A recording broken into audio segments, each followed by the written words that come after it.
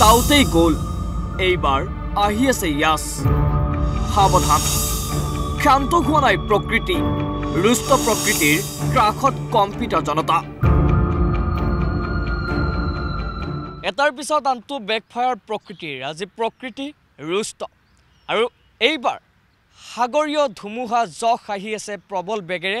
আগন্তুক চৌব্বিছ আঠচল্লিছ ঘণ্টাৰ ভিতৰত ইয়াৰ আংশিক প্ৰভাৱ পৰিব পাৰে উত্তৰ পূৰ্বাঞ্চলতো আগন্তুক চৌব্বিছ আঠচল্লিছ ঘণ্টাৰ ভিতৰত ভাৰতত প্ৰবল বেগেৰে প্ৰৱেশ কৰিব পাৰে সাগৰীয় ধুমুহা। ইয়াছ সতৰ্ক কৰি দিয়া হৈছে উৰিষ্যা পশ্চিমবংগক গ্ৰহণ কৰা হৈছে তীব্ৰ সতৰ্কতামূলক ব্যৱস্থা।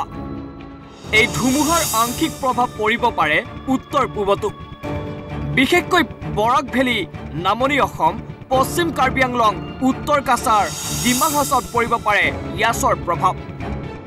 প্ৰবল বৃষ্টিপাত আৰু ধুমুহাৰ আশংকা।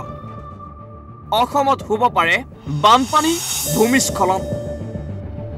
অৱশ্যে বিশেষজ্ঞই জনোৱা অনুসৰি সৰ্বাত্মক প্ৰভাৱ পৰিব উৰিষ্যা পশ্চিমবংগত মুখ্যমন্ত্ৰী হিমন্ত বিশ্ব শৰ্মাক ফোনযোগে অসমৰ প্ৰস্তুতিৰ বুজ ল'লে কেন্দ্ৰীয় গৃহমন্ত্ৰী অমিত শ্বাহে।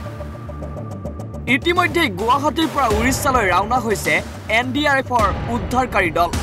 দলটিত আছে প্ৰায় দুশগৰাকী জোৱান। বায়ুসেনাৰ বিশেষ বিমানেৰে উৰিষ্যালৈ ৰাওনা হৈছে এন ডি আৰ এফৰ উদ্ধাৰকাৰী দল। অসমতো সষ্টম হৈ আছে N D R F S D R এফৰ দল। মাছমৰীয়াসকলক সাৱধান হৈ থাকিবলৈ আহ্বান। ভিডিঅ' জাৰ্ণালিষ্ট বঞ্জিতৰ সহযোগত হীৰকজ্যোতি ডেকাৰ ৰিপৰ্ট ইছান নিউজ।